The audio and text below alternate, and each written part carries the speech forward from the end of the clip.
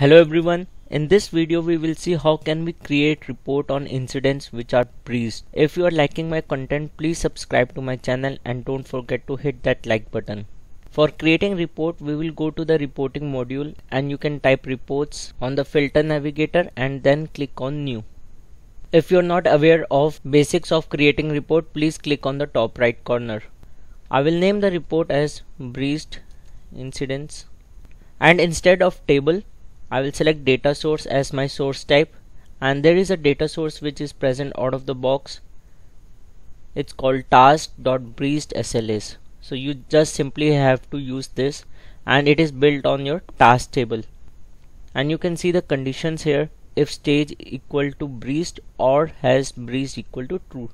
So any task which is breached will be appearing in this report. And we can see here all the incidents which are breached appear here. Alternatively you can put some of the conditions here. For example task starts with inc so it will show you only the incidents and not the other task table data. And as well as you can apply other condition for example active is true. And only the incidents which are in active state for example in progress or on hold will be displayed here. You will be able to see the incidents and business elapsed time and elapsed percentage and it shows that it has been breached. And if now you want to display incidents only of your group or of some particular group you can apply an and condition and select task and click on this little arrow which will show the related list or the fields on the task table.